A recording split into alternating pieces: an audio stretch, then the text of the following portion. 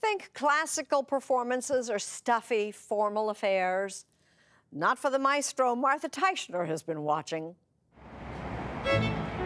Louisville, Kentucky has gotten used to the fact that the maestro rides his bike to concerts. No limo, no tux for him.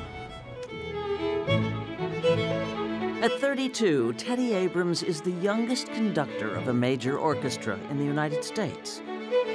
And in Louisville, if it's possible for a classical musician, he's a rock star.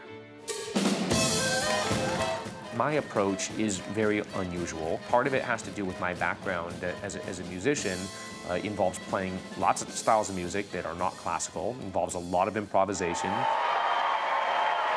It involves a lot of collaborations with people that normally don't work with so-called classical musicians.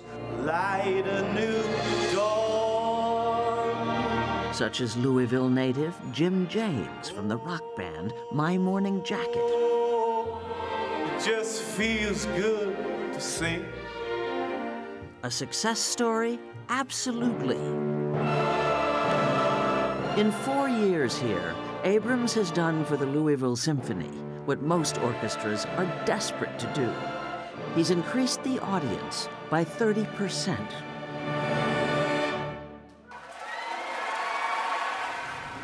So why Louisville of all places? You need to know about its musical history. See the bow Jim James is holding? It belonged to his great aunt, Betty Cheeseman, who was a member of the orchestra for 28 years, going back to its founding in 1937. Ten days of unrelenting rain. In response to the worst disaster in the city's history. At Louisville, Kentucky, a business section and many low-lying residential districts were flooded. Loss of life owing to exposure and privation was heavy. Local leaders decided what the devastated community needed to boost morale. was music. A decade later, the orchestra ran into financial trouble. Again, Louisville's response was radical. It commissioned new works by living composers, more than a hundred over the next 10 years, and became the first orchestra in the United States to start its own record label. Louisville became an important musical destination. But by 2013, the orchestra had once more fallen on hard times, bankrupt, reeling from a nasty labor dispute. Again, it decided to go bold. Enter Teddy Abrams, at the time assistant conductor of the Detroit Symphony and former boy wonder. Growing up in Oakland, California, he was already a musical prodigy when his parents took him to see the San Francisco Symphony at the age of nine.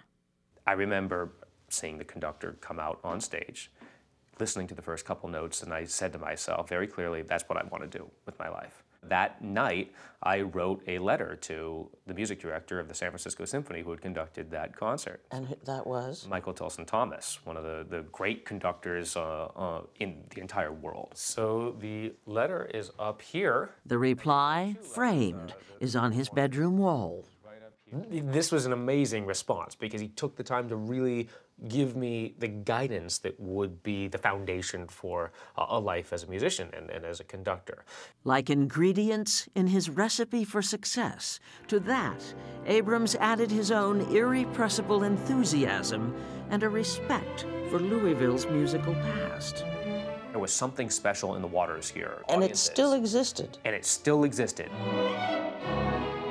And the great thing about coming to a place after you know kind of a tragedy is that people are willing to try something, to try anything, do something. There are no rules anymore, and uh, that I I thrive on, under those circumstances.